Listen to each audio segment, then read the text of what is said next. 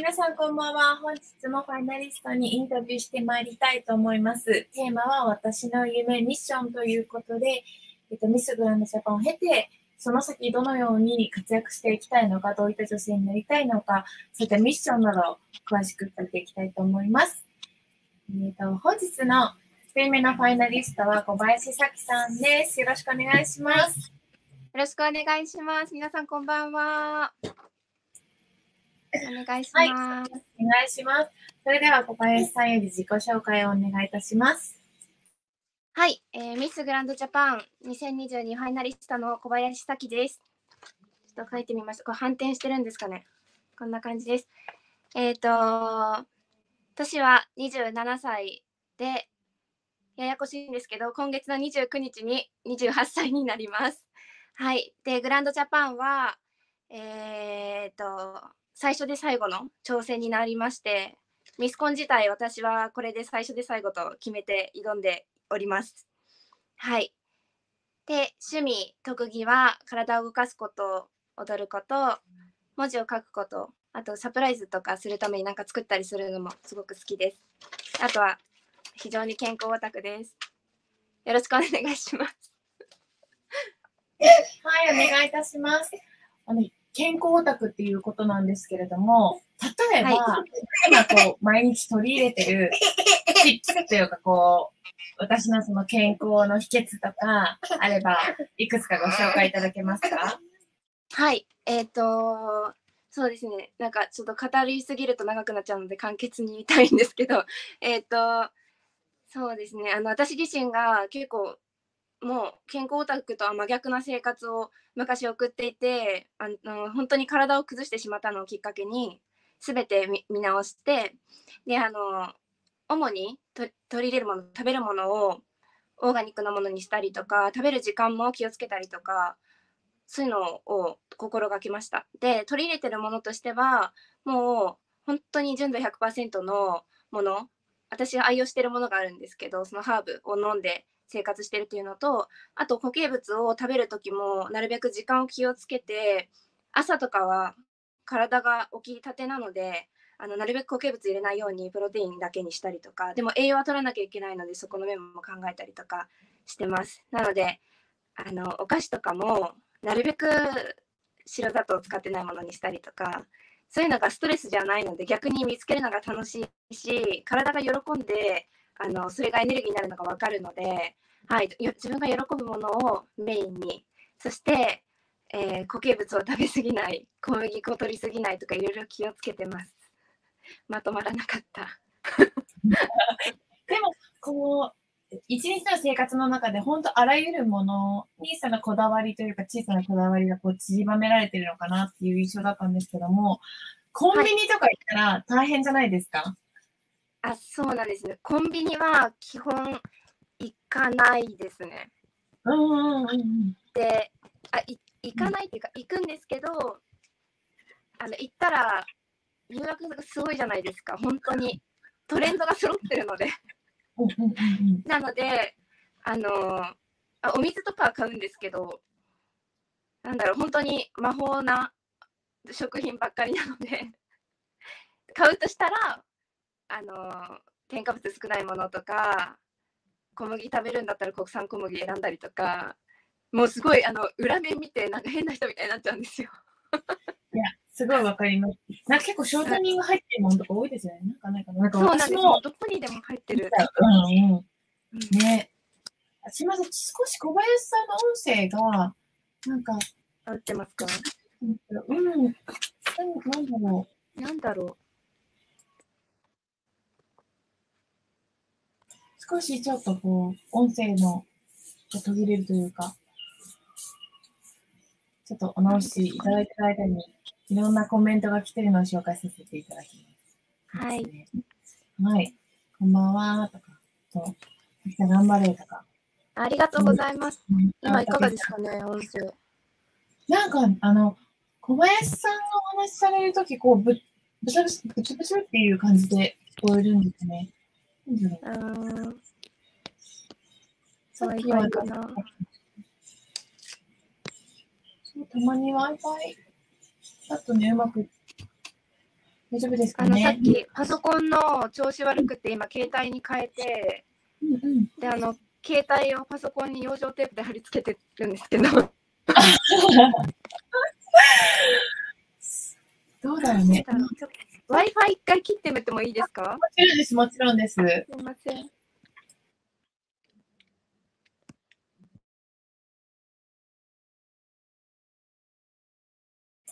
ありがとうございます。前聞こえてはいるんですが、なんかこう、ブチブチっとなってしまうんですよね。ちょっと、小林さんに聞いていただいて、いい音声で、ぜひ、彼女の夢ミッションをつけたらと思っております。少々お待ちください。小林さんどうかな？ちょっとその待っている間に、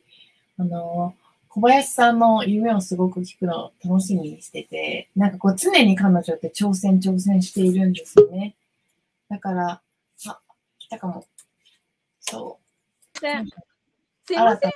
あ、いいですよ。あ、いいかもしれない。どうですかね？あ、全然もうこっちの方がいいです。あよかっうんた。大変失礼しました。はい。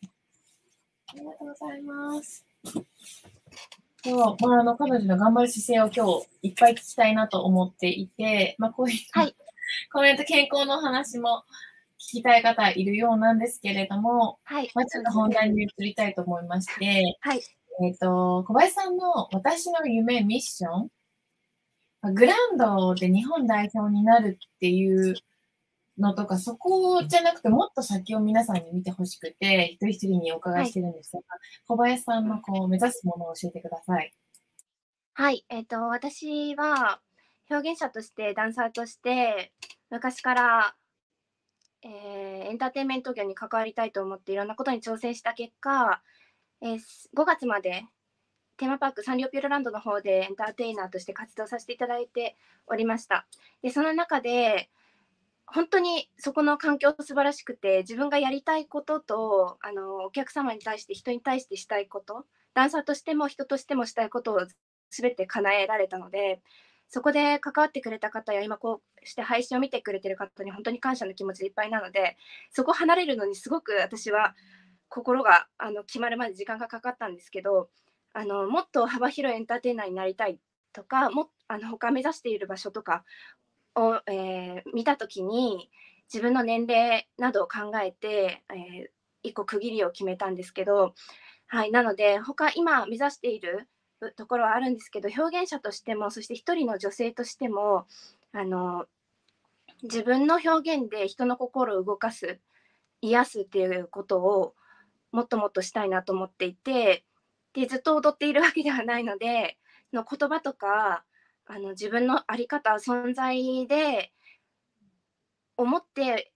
SNS だったら SNS で発信したり会って話したりすることでなんかその人の心を救いたいもっとなんか笑顔を増やしたいって思っています。はい、でそうですねダンス界でももっと自分が輝く場所目標としている場所があるのでそこで輝くことを今は目標にしていてグランドをきっかけにあの他の大会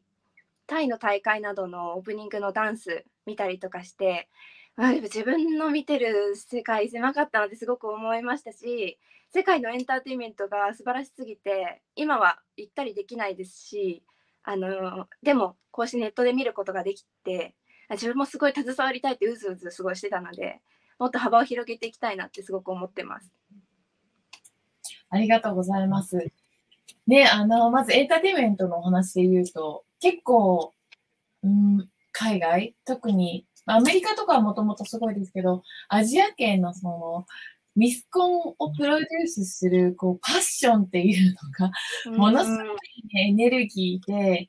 多分、まあその、それを感じていただけたのかなってうん、思いますね。で特にミスグランドはオープニングとか、まあそのエンターテインメントっていうところです一番力を入れている。はい。あの10年前からもそうですけど、まあそういってこう、まあ今注目していただくような大会になったんですが、まあはい。先ほどその小林さんはエンターテイナーとしてもっと高みを目指したいっていうことで、こう、次のものに行くために今の心地よい環境を離れるっていうのものすごく勇気が必要だったと思うんですね。で、はい。その決心できたなんだろうな、うん、きっかけというか、何か、こう、これだなって思い当たるものあれば、お話しいただけますか？はい、そうですね。えー、っと、前の職場、ピューロランドの方にいた時も、自分がやってみたいと思ったこととか、あの目標としてるものがその中でもできていくのでそれに対してあの気持ちは絶対なる。それを絶対叶えるとか例えばその役だったらその役になるとかの夢をまず目標を決めてそこで何したらいいかっていうのをあの目標を立てて自分でこうやっていって、まあ、クリアできる時とできない時があったんですけどいろいろな賞に対してあとはその1回その日のその1回の賞に対してもこういう気持ちでやろうとか言って自分でいろいろフレッシュな気持ちで取り組んだ7年間だったんですけどあの1個大きいのは、えーと、自分の年齢ですね。であの20歳からこうプロとして活動させてもらってで10年間同じ場所でとかいろいろ思ったりもいろいろした時期はあったんですけど2678ってすごく区切れというか1個考え直す年だなっていうのはずっと思っていたっていうのとで、うん、あとはそうですね。それぞれのいただいていたお仕事に対して踊りに対してやりきるとかっていうのはないと思うんですけども終わりがないので。でも自分の中でなんだろうあのー、自分の中で 100, 100点というかあもうここまでいったら満足っていう部分あの本当に見えない基準なので自分の中でなんですけどはい。をクリアしたかなって。で正直ちょっと前に次を目指してやめようか迷った時期もあったんですけどその時その質問を自分にした時にあこれまあ全然やりきれてないとかすごく中途半端なものが自分の課題に残ってたので喋るにしても踊るにしても。なのでそこでもう一回自分に課題を課して走った後半戦を見た時にあもうこれ次に行っていいなっていうので自分の背中を押すか押さないかで押しました。なので自分の感覚を、はい、目標設定してあもう行っていいなっていうのではいちょっと無理やり押しました。ねやっぱりそのリミットがあるっていうので、うん、どうしても選択せざる得ない状況。それって結構、なんて言うんでしょうね。まあ、ミスコンなんて特にそうだと思うんですよ。その、うん何歳までっていうのがもうどのコンテンツにもついて回っている。で、まあ、あと女性はその出産で、ここを過ぎてしましてしまったら、まあ、高齢出産に当たるからとか、うん、こう、結構その、すごい線を引かれている。うん、なんだろう、常にこう年齢っていうもの。だからそこでこう、なんか明るく、いい決断というか、いい挑戦をされてるから、すごい表情が明るいのかなって思って小林さんをすごい見てたんですけども、実はね、あの、娘、息子を連れて、あの、ピューロランド行かせていただいて、はい。って言うんだろう。表現者として、あの、感動した、本当に感動して、それは、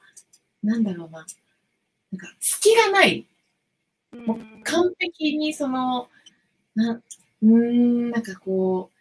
あエンターテインメントを提供する人のこう心構えってこうあるべきなんだっていうのをすごく近くで見せていただいて、私も勉強になったし、なんか、あ、なんだろうな。夢ってこういうところでもらえるんだなって思って、本当ね、小林さんに感謝なんですよ。あの機会をいただけてありがとうございました。いや、もうこちらこそありがとうございます。今その言葉でうるうる来てますけど。いや、すごいの、なんかな、ね、ちょっと生でみんなに本当見てほしかったんですが、ね、いや、なんかその、だからこそ、なんかこう、小林さんって、ちょっと待ってね、こうやって、応援のコメントもあるんですけど、いろんな方に本当支えられて、で、多分、支えられてるだけじゃなく、ちゃんと答えているというか、大事にしているから、あ、米田さんからも来てる。大事にしてるからこそ、こういろんな人がついてきて、あの、ステージが変わっても応援される方なんだなっていうのは、すごい最初の時から思ってました。うん。嬉しいです。ありがとうございます。皆さん、なんかインタビューじゃなく私の感想を言ってる回みたいなっちゃったけど。やでも日々すごく緊張するんですけど、やっぱりあの、ななんだろう本当に同じことをやってても緊張すごくするんですけどもうあのそうですね。お世話になっていた方とかが来てる時も本当同じなんですけどあのなんだろう。その後お会いして直接こうやって言っていただいた時になんかやっぱりいろいろと表現者前に出る人としてやる中で、うん、自分は楽しいんですけど評価がつきまとうので正直本当にぐさっとくるような言葉をもらったりとか誹謗中傷ももちろんありますしなんか立ち直れない時がすごくあるあったんですけどでもあの応援してくれてる方もそうですし今こうして直接言ってくださる言葉でああもう本当言っててよかったやっててよかったって本当救われる瞬間なんです。なんかねだって見てほらもうだってずっと応援してますとかこれ応援してますどんなステージもずっと応援してますって嬉しいですね。なんかね、こうやって。あ、友達だかな小林さん。聞こえますか？あ、大丈夫かな？大丈夫ですか？はい、友達。ね。あ、聞こえますか？聞こえます。ありがとうございます。はい。まあ、あの、表に出る以上ね、あの、いろんなこと言われてしまうと思うんですよ。うんうん、それって、はい、まあ、あの、確かに表現に対しての厳しめな評価かもしれないし、妬みなのかもしれないし、なんかいろんなね、こう思いがあると思うけど、でも、実はそそういうね、ネガティブなものに目行きがちですけど、それよりももっと近くで味方でいてくれる人、うん、敵役人より私を、あなんだろう、うん何があっても一緒の思いで戦ってくれる味方一人いれば全然いいなって思える。はい、うん、そうだから小林さんはでもいっぱい いっぱい心強い味方というかチームがいるからはいいい本当にありがたい、うんね、ぜひぜひ日本大会でも輝く小林さんを皆さんに見ていただければと思いますし、はい、なんかすごい細かくきましたよ。曲や歌詞の表現をしてダンスがとても素晴らしくいつもなので感謝するのが大好きでした。ありがとうございます。嬉しいね。ねぜひぜひ、あの、日本大会という、あ、ミスグランドジャパンの日本大会というまた別のステージですけど、うん、小林さんのパフォーマンスを楽しみにしていただけたらと思います。はい、あっという間にね、インタビュー、はい、あの、の時間になってしまったんですが、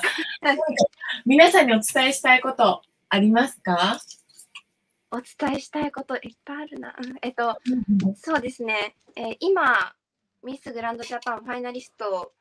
の皆さんと一緒に活動したりとか、一緒にいる時間が長い中で、やっぱり私もミスコンに対する、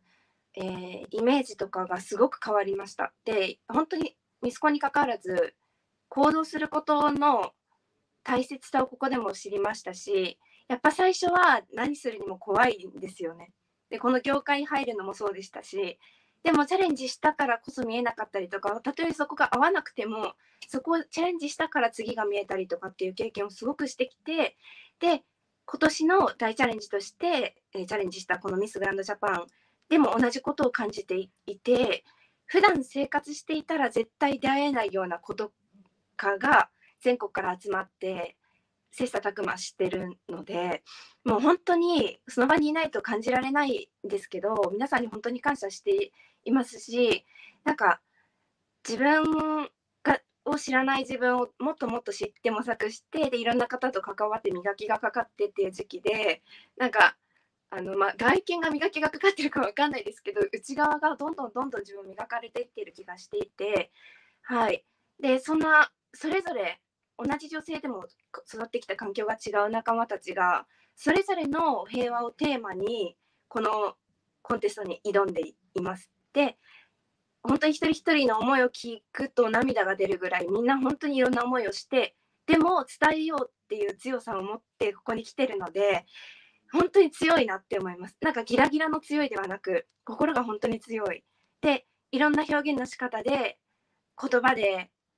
あの英語でっていう方もいらっしゃいますし自分の特技を見せつけてっていう方もいてなんかミスコンってなんだろうって思ってる方がもしいたら日本大会ぜひ見に来てほしいなってすごい思いがあのビューティーキャンプ重ねるごとに私も大きくなっていってるので、はい、ミスコンもそうですしその磨きがかかった私 が今後何か出るってなった時にそこにも会いに来てほしいですし表現者としてももっと成長していきたいので、えーと、私の応援とそしてみんなの応援を、はい、ぜひしていただけたらなと思うので皆さんぜひ8月6日ファイナリストのみんなに会いに来てください。はい、ありがとうございます。はい、まあ、今、小林さんおっしゃってくださいましたけど、本当その通り。なので、ぜひぜひ、あの、ファイナリストたちの、まあ、熱い姿というか、うん、をぜひ、あの、近くで見ていただけたらと思います。あの、なんだろうな。動画で見るのとやっぱり現地で見るのだと全然違うので、はい、結構こうポジティブな気持ちになったって毎年言ってくださる方が多いかなと思っています。うん、はい。ね、小林さんの エンターテイメントの話もっともっとしたいところなんですけども、はい、すみません、次の方もありまして、はい、えーと、次のファイナリストの紹介をお願いします。はい、えー、次のファイナリストの方は荒竹遥さんという方です。えー、私がファイナリストになるセミファイナリストに選ばれた時に一回集まった時に初めて話しかけてくれた本当に心の優しい本当に心の優しい方であの見ていただいたら分かると思うんですけどまず声に癒されます。はい、であの自分自身いろんな葛藤があった中で沖縄からチャレンジして東京にいつも来てるんですけど本当に存在だけで癒されるので私はパワースポットって呼んでた呼んでるんですけどはいなので今もその集まる時にしか会えないんですけどなんか会えない時もメッセージし合ってみんなでパワー送り合ったりとかあのしてくれる気すごく気を使ってくれる素敵な女性です。で、英語がとっても上手です。なので皆さんぜひこの後9時半からもご覧ください。はい、ありがとうございます。素敵なタコ紹介をぜひぜひ皆さん引き続きご視聴いただけたらと思います。えーと、本日1人目のファイナリストインタビューは小林咲さんでした。皆さんご視聴ありがとうございました。はい、そして小林さんもありがとうございました。ありがとうございました。Bye.